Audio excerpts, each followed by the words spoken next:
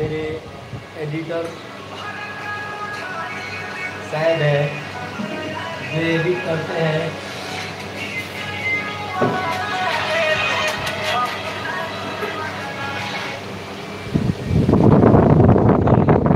और इनका कारनामा बहुत बड़ा बड़ा है, आप लोग सोच भी नहीं सकते हैं। कम से कम पचास लड़कियों को धोखा दे चुके हैं। भी लोग नहीं देखते हैं। कोई बात नहीं, आज नहीं देख रहा है तो कभी ना कभी देखेगा। ज़ीरो से ही शुरुआत होता है।